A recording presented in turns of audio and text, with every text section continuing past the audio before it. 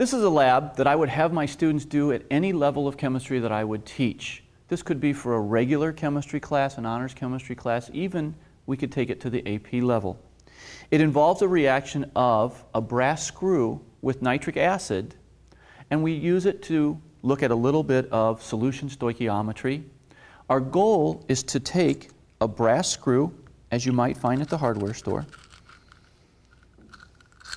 and determine the percent composition of copper in that brass screw. Now, you might use this early in the year for solution stoichiometry percent composition. You might use it later in the year when we get to redox reactions. We'll show you the reaction a little later on. We're also going to use a little bit of, you could use a little bit of spectrometry with this, and you can take it to whatever level that you wish. We're going to do a very simple method. If you don't happen to have a, a colorimeter or spectrometer in your classroom, we're going to do it on a very simple level that will allow you to do it with just a simple well plate, a little vial, and just something you can buy at the hardware store. So what I've done is I've gone to the hardware store and I've purchased a few brass screws and I've cut them up into relatively small pieces. I'll put a few here on the table so that you can see those. And I just used the bolt cutters in order to cut the, the bolts apart. What I've also tried is going to a hobby shop, and they now sell sheets of brass for decorative purposes, and you might be able to cut those a little bit easier, maybe with a pair of scissors as opposed to using a bolt cutter. What I want is 0.4 grams of that brass screw. And what I'm going to do is I will put my balance there, zero. And I know that when I use this in the classroom, about two pieces of that brass that I've cut will weigh out to about 0.4 grams. So that's what we're getting there. With that 0.4 grams of brass, we're going to put it into a 10 milliliter volumetric flask, like such. And then we're going to add 6 molar nitric acid to that brass that's in there and let it react for a while. In order to do that, I'm going to have to move over underneath the fume hood so that we don't release the uh, poisonous nitrogen dioxide gas into the air.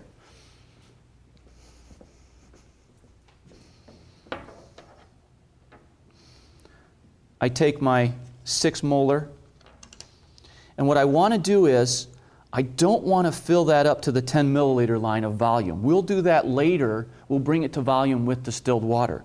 I just want enough nitric acid in there, about 6 milliliters, and you'll see that in the write up, to get the brass starting to react.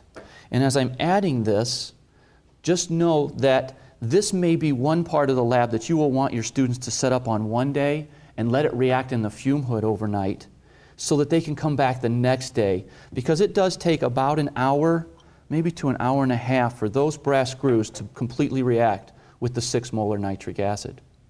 Another thing that you should know in the teacher setup of this is each lab partner or set of partners or however you run your classroom, each lab group is only going to use 20 drops of this. So one of these vials makes enough for several, several groups. And that's a nice thing about this lab. It's a pretty small amount of material set up for this. And we're going to let that react over here. You don't want to put the stopper on that because it will pop off. I would set that aside in a fume hood.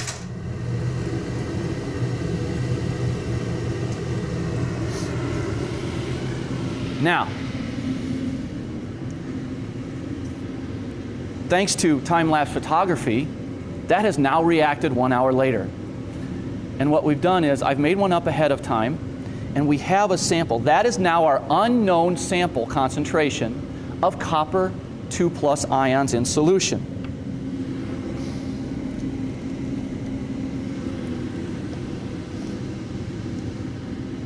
In preparation for this also, there's my unknown. And we talk to students about if you're working in a laboratory, a lot of what you do is comparing unknowns to knowns. And so we have a set of standards here, and the kids are allowed to set up their own standards and then make a comparison to make a judgment. So, what I've done is a serial dilution of one molar copper nitrate. And all we did was we took the copper nitrate, I put 20 drops of the copper nitrate with no water in the first well, and then 19, 18, 17, all the way down to one drop of copper nitrate down here with 19 drops of water. And so there's my set of standards upon which I can compare my unknown solution to.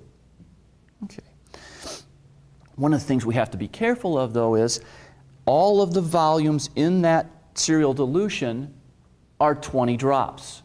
If I try to compare this vial to those 20 drops, as I look down through it, because the depth is different, I'm looking through more ions, it's going to give me a darker looking solution. So what I need to be make to make sure of is that I use the same amount of drops of my unknown as I have my known standards. Therefore, I make a true comparison of colors based on that. I also tell my students that, and usually I'll carry in a box of some of the common raisin bran, Kellogg's, uh, Frosted Flakes, something, and pour some milk on it and tell them that's my cereal dilution uh, for the day. So they, that's, all right. So I'm going to take, and I want to put this in the corner. I want 20 drops of my unknown.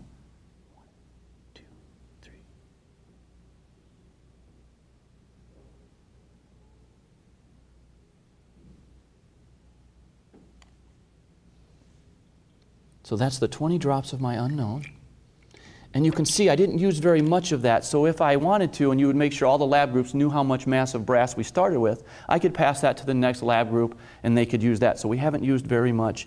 And therefore, disposal also, it's nice for that because you really don't have a whole lot of materials putting the heavy metals down, down and in, making sure we have to take care of those.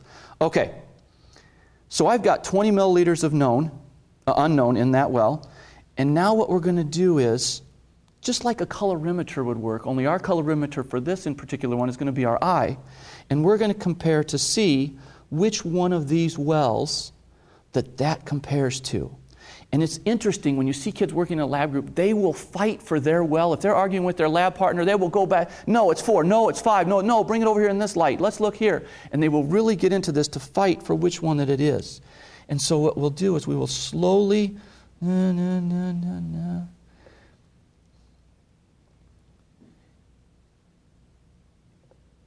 And then what I think we would do is we would say, okay, I think that that looks like B5. Well, okay? And we'll make a judgment on that.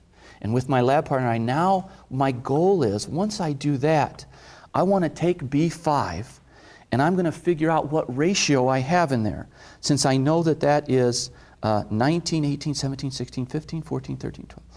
That's my 10 to 10 ratio. I've got 10 drops of copper 2 nitrate, and I've got 10 drops of water in there. So I've split the 1 molar 50 50.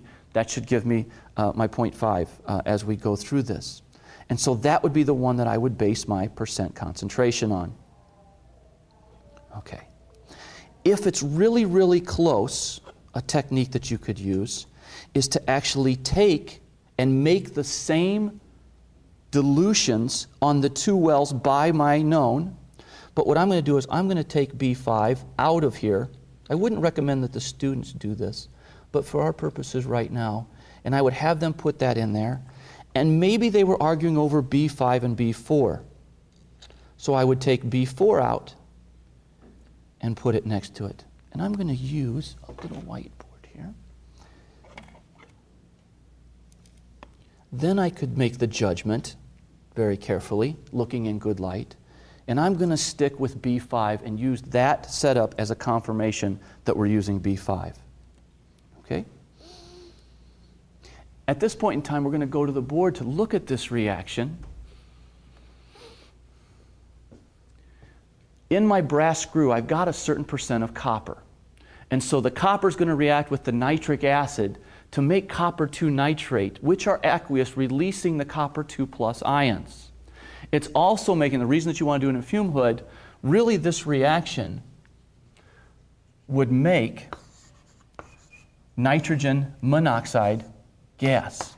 But the minute that nitrogen monoxide gas reacts with oxygen, it turns it into NO2 gas, and that's the brown poisonous gas that you see evolved from the reaction. Once we've liberated the copper 2 plus ions, we can look at them, compare them. Now I can make a distinction as to what is the percent of copper that I actually have in my well. Okay, so we'll come back to this. Now that we know the mass of brass and we know which well, we can continue on and calculate and show the calculations for determining the percent of copper in the brass. Okay, so now we've completed the brass in, in uh, 6 molar nitric acid lab, and we're ready to show some calculations of how do we arrive at the percent of brass in that, uh, percent of copper in that brass screw. We weighed out the mass of brass, which came out to 0.44 grams. We used well B5. That was where our color match was, in which we lined up our standard with our unknown. Considering the fact that we used a standard solution of copper 2 nitrate as 1 molar, if I multiply that by the ratio of the well that I chose, 10 of those drops in that well were copper 2 nitrate, 10 were water. That gives me a 0.5 molar copper 2 plus ion concentration. If I talk about that as being 0.50 molar and I want to solve for the grams of copper in there, I know that 0.50 molar, moles per liter, multiplied by 63, the molar mass of copper, grams of copper per mole. I know that one liter is 1,000 milliliters.